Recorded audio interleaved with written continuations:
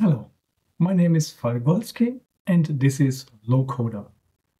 Our aim is to provide you the very best, most modern and versatile application development platform that exists.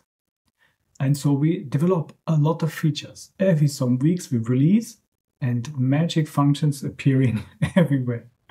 Some of them we really need to describe and therefore Here's our series of tutorial videos so you can access all the value that is already possible and find also the magic hidden functions that are already offered inside of our platform.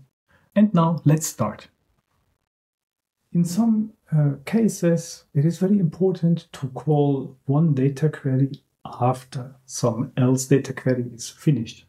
There are multiple ways to do so, and I just created a very clumsy scenario, but you can get uh, how it will work. So in general, we assume that we have continents data, and we can just call this data query, and it works. In this case, it gives and answers me continents data. It will fill here my uh, selection for the table later on, and I can use it as a filter for this table.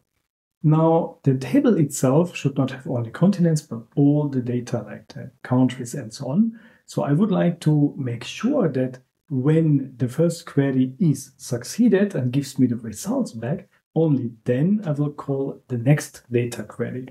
You can achieve this quite easily because you have here the trigger uh, and you say either if inputs change or page load, so it will automatically start as soon as the application comes up, this may be interesting for the first query, but not for the second. So we change it to only when you triggered manually. And manually means you have uh, opportunities via event handler or via code when you have uh, your query.run command.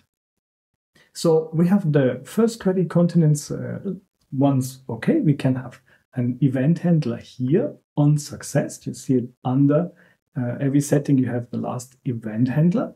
And now, in case of the query did run successful, give you a result, you can do something and you just can run another data query, which will be then the second one. This will be here my countries query.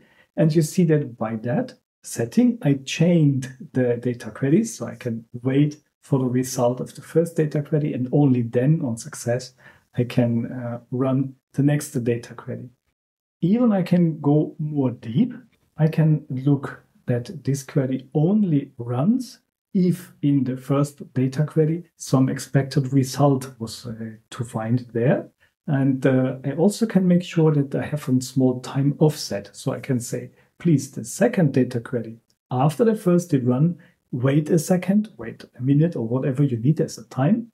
And then you can make sure that only then this query, the second one is triggered.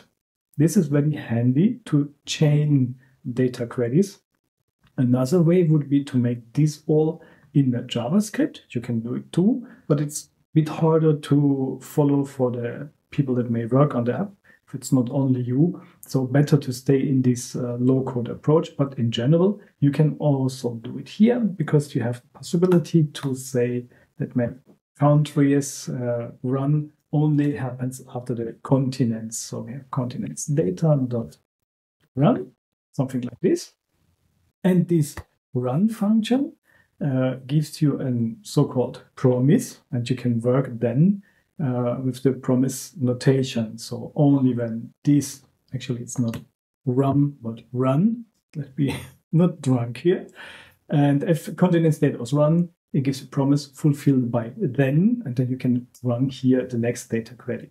That is possible, but again, I think by the event handlers, you have a better approach for the uh, low code uh, usage of the abilities that it has.